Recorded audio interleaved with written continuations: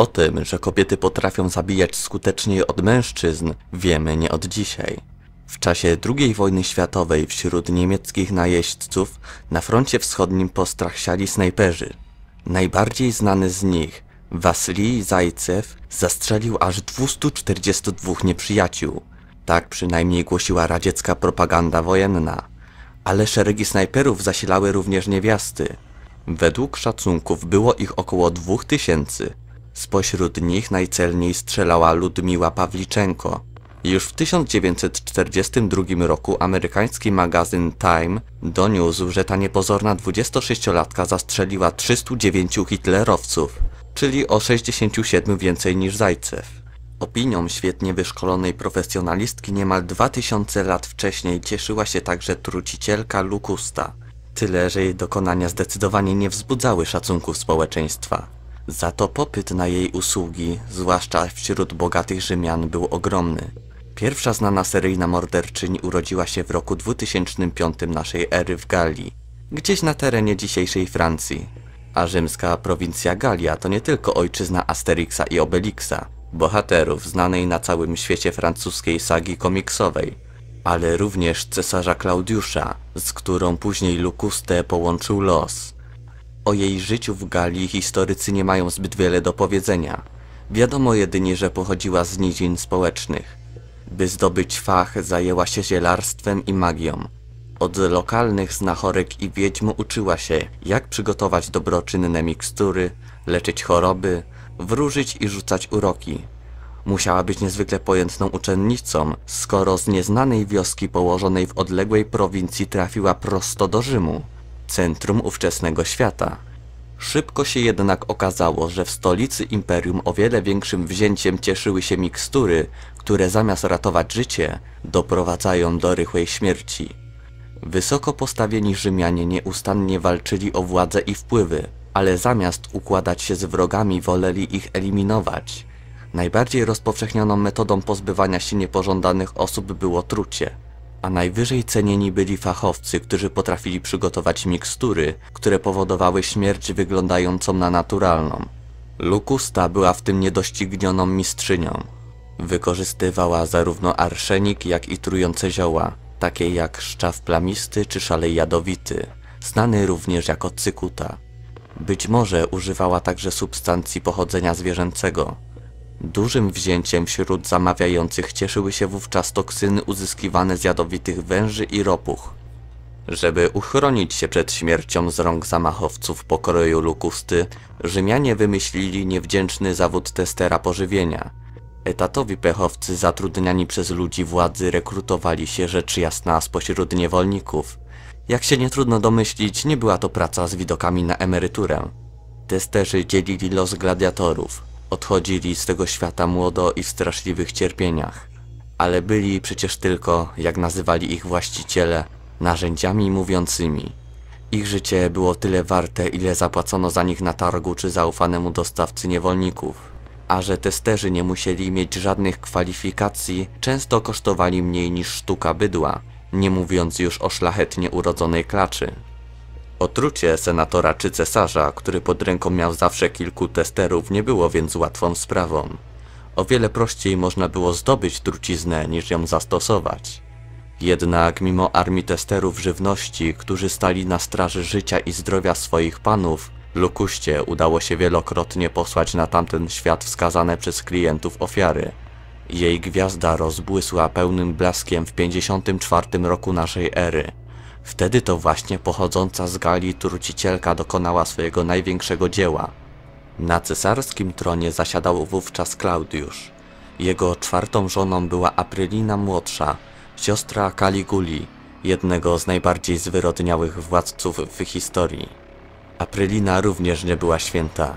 Wraz z bratem urządzała pałacowe orgie, podczas których uprawiała z nim kazirodczy seks, ale nie przypuszczała innym mężczyznom czy nawet własnym służkom. Klaudiusz, stryj Apryliny, był jej trzecim mężem. Podobnie jak poprzednich dwóch, notorycznie go zdradzała. Rozwiązła cesarzowa czuła niepohamowany pociąg nie tylko do uciech cielesnych. Jej największą namiętnością było pozbywanie się wrogów i konsekwentne wspinanie się po kolejnych szczeblach władzy. Cel Apryliny był jasno określony. Mieć u stóp cały świat. Żeby rządzić samodzielnie imperium, postanowiła dyskretnie pozbyć się starego Klaudiusza i obsadzić na tronie 17-letniego Nerona, swojego syna z pierwszego małżeństwa. Poprosiła więc Lukustę, by jej w tym pomogła. Trucicielka z radością przyjęła propozycję współpracy. Liczyła, że gdy już pozbędzie się Klaudiusza, nowa władczyni ozłoci ją i obdarzy przywilejami, o których w Galii nie mogłaby nawet marzyć. Ochoczo przystąpiła więc do dzieła. Dowiedziała się od swojej zleceniodawczyni, że jej mąż jest miłośnikiem leśnych grzybów. Przygotowała więc odpowiednią miksturę i smakowicie wyglądające borówki zamieniła na zabójcze muchomory. Aprylina wykorzystała okazję, gdy jeden z najbardziej oddanych służących Klaudiusza zachorował. Zapłaciła testerowi jedzenia i przegoniła go. Potem upoiła męża winem i zaproponowała mu ulubione danie. Klaudiusz, któremu zdążyło zaszumieć w głowie i zaburczeć w żołądku, na swoje nieszczęście zlekceważył nieobecność testera. Stracił czujność i w przypływie dobrego humoru zaufał żonie, która osobiście podała mu danie. Jak się nie trudno domyślić, grzybki poważnie Klaudiuszowi zaszkodziły. Taka rzecz jasna była wersja oficjalna, którą wkrótce miała ogłosić poddanym zrozpaczona wdowa. O zabójczej truciźnie, którą Lukusta nasączyła danie, wiedzieli jedynie ludzie z najbliższego otoczenia Angrypiny i Lukusty. Zaledwie parę chwil po spożyciu zatrutej kolacji cesarz padł. Stracił głos i zaczął machać rękoma niczym tonący. Wówczas oddana małżonka pochyliła się nad nim z wymalowaną na twarzy troską. Aby Klaudiusz nie cierpiał zbytnio, łaskawa Agrypina pomachała mu przed nosem piórem, które Lukusta zanurzyła w sobie tylko znanym trującym zazajerze. I w ten sposób sprawa została doprowadzona do szczęśliwego końca. Przynajmniej jeśli idzie o interesy spiskowców. Młody Neron zasiadł na tronie. Agrypina poczuła się panią świata, a wierna jej Lukusta zarobiła krocie. Sielanka nie trwała jednak zbyt długo. Neron zaczął się martwić. Przedmiotem jego trosk była niepokojąca obecność czternastoletniego Brytanika, syna Klaudiusza i jego poprzedniej żony Messaliny. W przeciwieństwie do Brytanika, Neron był jedynie przybranym synem Klaudiusza. Gdyby Brytanik dorósł, pewnego dnia mógłby zacząć rościć sobie prawa do cesarskiego tronu. Aby zażegnać niebezpieczeństwo, Neron postanowił zawczasu rozwiązać problem. Zamiast silić na oryginalność, poszedł utartą ścieżką i zaoferował Lukuście kolejne lukratywne zlecenie. Wspólnie uradzili, że krótki żywot Brytanika zostanie zakończony podczas wydanego przez Nerona przyjęcia. Było to zadanie o wiele trudniejsze niż zabicie Klaudiusza. Brytanik nigdy nie wziął do ust niczego, co nie przeszło przez ręce testera żywności.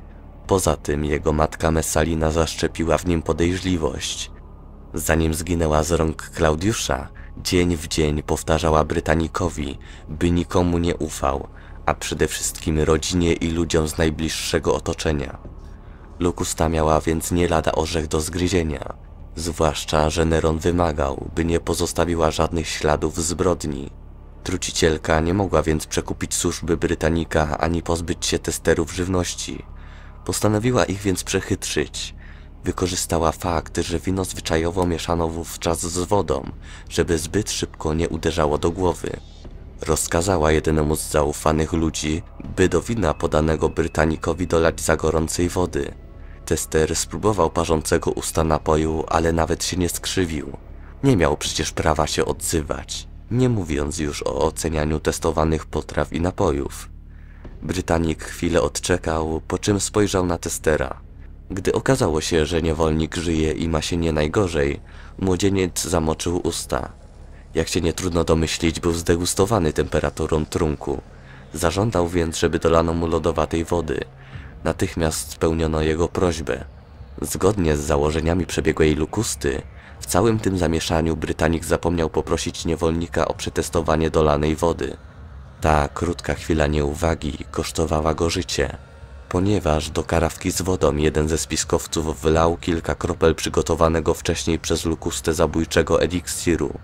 Brytanik przez dłuższy czas konał na oczach zebranych gości. Nikomu nie przyszło do głowy, by to skomentować lub tym bardziej pośpieszyć z pomocą. Zresztą i tak wiadomo było, że żadną siłą nie można było oddalić zbliżającej się śmierci. Neron badawczo przyglądał się biesiadnikom, a ci, słysząc harczącego młodzieńca, udawali, że nic się nie stało.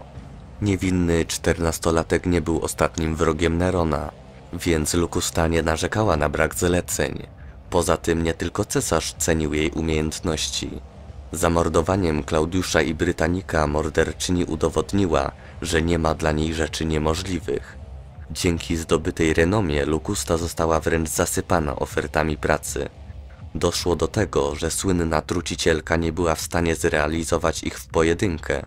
Postanowiła więc stworzyć szkołę dla trucicielek, której była właścicielką, dyrektorką i najbardziej doświadczoną wykładowczynią.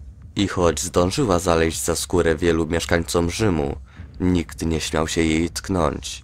Wiadomo przecież było, że wrogość wobec Lukusty spotka się z zemstą Agrypiny lub coraz bardziej nieprzewidywalnego i krwiożerczego Nerona. Mocodawcy trucicielki nie mogli jednak strzec jej wiecznie. W 59 roku została zamordowana Agrypina.